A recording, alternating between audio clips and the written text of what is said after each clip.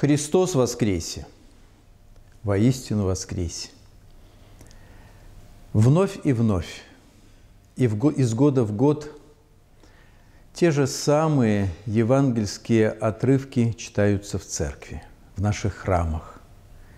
И когда они возвращаются, всегда встает вопрос. Во всяком случае, он встает всегда передо мной.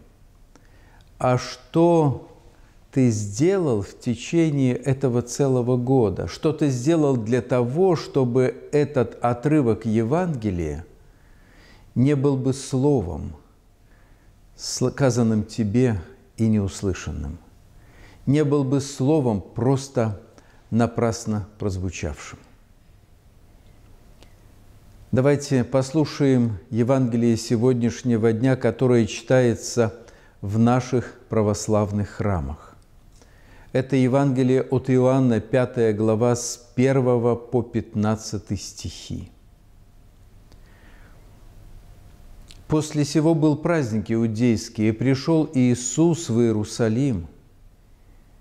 Еже в Иерусалиме у овечьих ворот купальни называется по-еврейски Вифизда. В переводе означает «дом милосердия», при которой было пять крытых ходов. В них лежало великое множество больных, слепых, хромых и сохших, ожидающих движения воды. Ибо ангел Господень по временам сходил в купальню и возмущал воду – и кто первым входил в нее по возмущении воды, тот выздоравливал, какой бы ни был одержим болезнью. Тут был человек, находившийся в болезни 38 лет. И Иисус, увидев его лежащего и узнав, что он лежит уже долгое время, говорит ему, «Хочешь ли быть здоров?» Больной отвечал ему, «Да, Господи, но не имею человека, который опустил бы меня в купальню, когда возмутится вода. Когда же я прихожу, другой уже сходит прежде меня». И Иисус говорит ему, «Встань, возьми постель твою и ходи».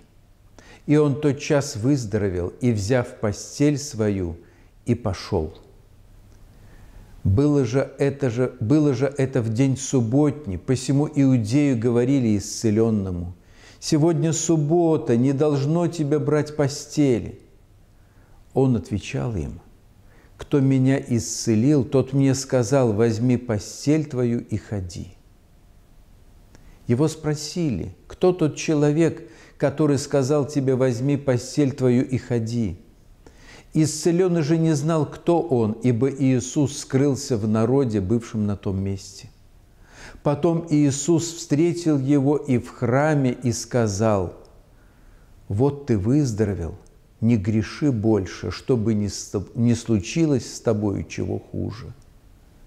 Человек сей пошел и объявил иудеям, что исцеливший его есть Иисус. Вот сегодняшнее евангельское чтение, которое говорит нам о расслабленном, о парализованном человеке, который в течение 38 лет не мог найти себе исцеление, потому что никто, ни один человек не нашелся за все эти годы, чтобы помочь опуститься в исцеляющие воды овчьей купели – Овчей купелью назывался источник, который имел чудесную силу. При этом источнике было устроено пять притворов, в которых помещались всякого рода больные. Здесь находился и этот расслабленный, этот несчастный, болезнь которого состояла в том, что он почти не мог двигать членами своего тела. Хочешь ли быть здоровым – спросил его Господь. Когда тот ответил «Да, Господи», но не имею человека, который довел бы меня до источника, когда источник получает целебную силу. А это и было раз в году, когда сходил ангел и возмущал воду. Тогда Господь сказал ему, «Встань, возьми одр твой и ходи». По всемогущему слову Господню расслабленный тот час почувствовал себя здоровым и сильным, взял постель свою и пошел. Исцеленный не знал, кто исцелил его, потому что Иисус скрылся в народе, бывшем на том месте. Потом Иисус встретил его и в храме и сказал, «Вот, и ты выздоровел, не греши же, чтобы не случилось с тобой чего хуже».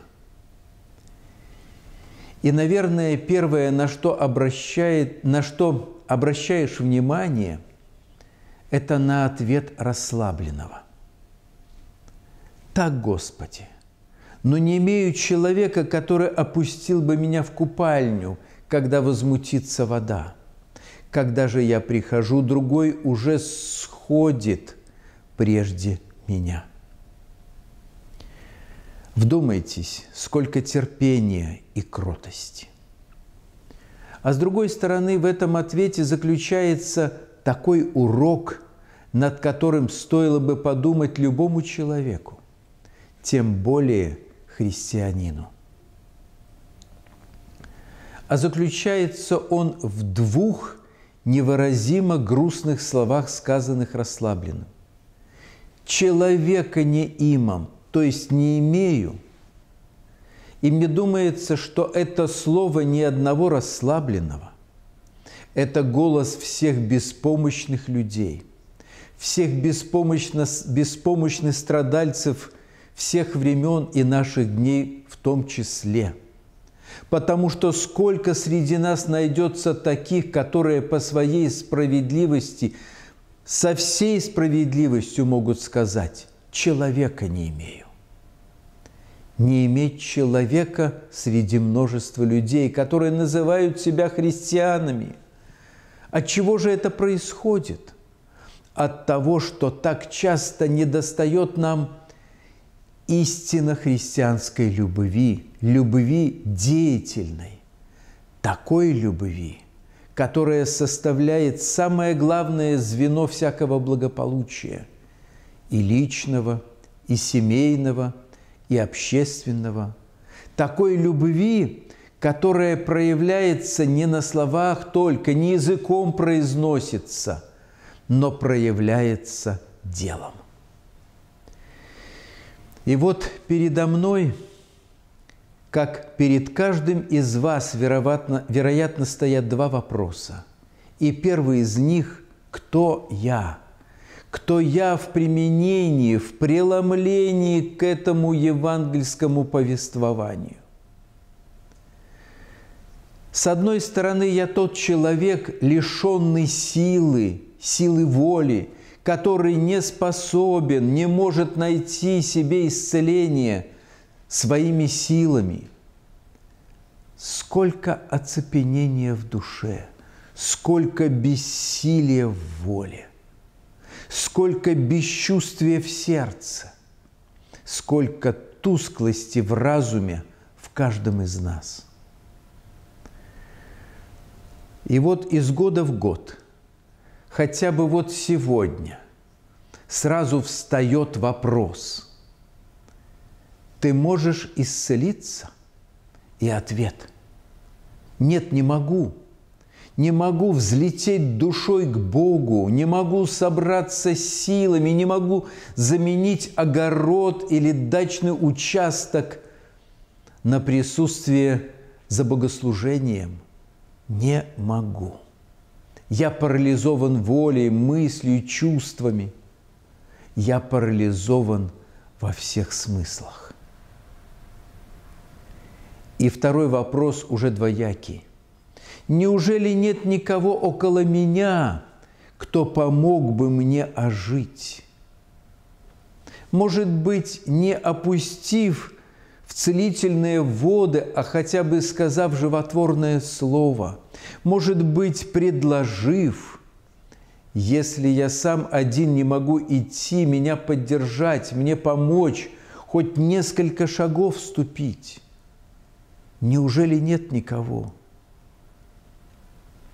И если спросить себя, сколько есть таких голосов, сколько дружбы, сколько бодрящих слов, сколько слов, обращенных ко мне лично и к каждому из нас – обращенных самим Спасителем Христом, которые могли бы тронуть душу, чтобы она вздрогнула и стала живой. И обратная сторона этого второго вопроса. Сколько вокруг меня людей, парализованных волей, сердцем, душой, которым я мог бы помочь ожить, стать, пойти. А мне лень, мне некогда я забываю. У меня заботы. И что же нам делать? Неужели снова ждать в течение года, чтобы те же слова прозвучали, чтобы снова Христос нам сказал те же слова, и чтобы мы слово, снова подумали, да, прошел целый год, и все одно и то же повторяется в церкви. Повторяется, да, как в нашей жизни. Если бы мы ожили с первого слова, нам не нужно было бы его слышать вновь и вновь. Мы бы это слово воплотили в себе, в своей жизни. Мы бы пронесли его через свою жизнь, как факел, и загорелись бы души вокруг нас – и ожили бы люди вокруг нас, и они тоже понесли бы благую весть. Вот в течение этой недели, которая сегодня начинается, этим евангельским чтением, поставим перед собой вопрос. Вопрос о том, в чем моя немощь, чем я парализован, какой частью души, что внесло этот паралич, это оцепенение в мою душу. И избавимся. Избавимся от этого своего состояния с помощью Христа, с помощью любящих нас людей, собрав все свои силы.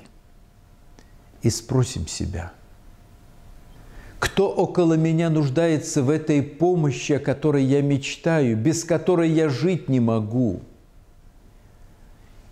И не ожидая ничего, не ожидая, чтобы я сам стал живым, попробую оказать помощь тому другому, который, который ему поможет ожить. И будем помнить, что привести или приблизить человека ко Христу, к вере в Него, к любви и преданности Ему, обратить чью-либо душу к тому, кто ищет нас, зовет нас, любит нас, стучится в наше сердце, кто есть жизнь и радость всех, велико пред Богом. Кто обратит грешника от ложного пути его, тот спасет душу свою от смерти и покроет множество грехов. Читаем мы у апостола Иакова в пятой главе 10 стих.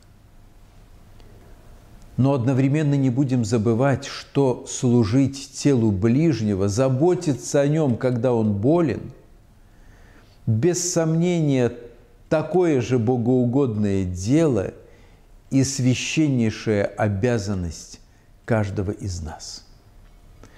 Вот и будем искать в нашей жизни и того, и другого. И поспешим на помощь к страждущим и изнемогающим. Поспешим не только телом, но и духом. Поможем им ожить и уврачуем их святой любовью. Христос воскресе!